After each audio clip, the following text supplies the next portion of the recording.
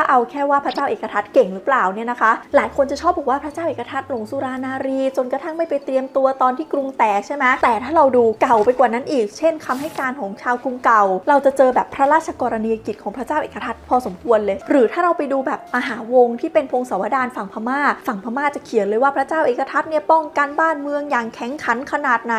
วันๆนี่ไม่ใช่แค่หมกตัวอยู่ในวังนะ แต่ว่ามีการแบบทำกับดักสร้างป้อมปราการทางน้ำเพื่อยันฆ่าศึกเอาไว้ ดังนั้นนักวิชาการสมัยปัจจุบันเนี่ยเขาก็จะวิเคราะห์กันมากกว่าว่า สาเหตุที่กรุงแตกเนี่ยมันไม่ใช่ประเด็นเรื่องพระเจ้าเอกทัตไม่เก่งหรืออะไรนะ แต่ว่ามันเป็นปัญหาเรื่องกำลังพลในกรุงศรีอยุธยา ส่วนอีกเรื่องหนึ่งที่ทำให้กำลังพลไม่พอ เพราะว่าแล้วพอมันมีปัญหาศึกอังวะเนี่ยพอไพร่พลไม่พอกำลังพลไม่พอ